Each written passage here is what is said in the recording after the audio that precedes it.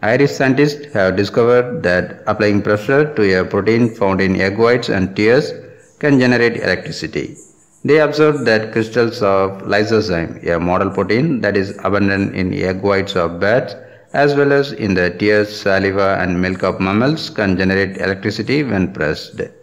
The ability to generate electricity by applying pressure, known as direct piezoelectricity, is a property of materials such as quartz that can convert mechanical energy into electrical energy and vice versa.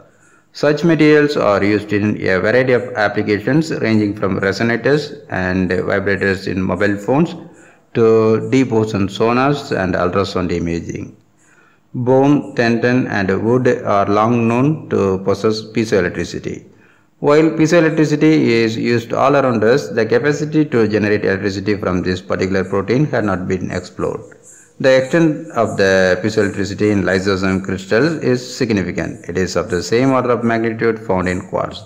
However, because it is a biological material, it is non-toxic. So it could have many innovative applications such as electroactive antimicrobial coatings for medical implants.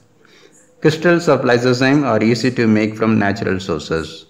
The discovery may have wide-reaching applications and could lead to further research in the area of energy harvesting and flexible electronics for biomedical devices.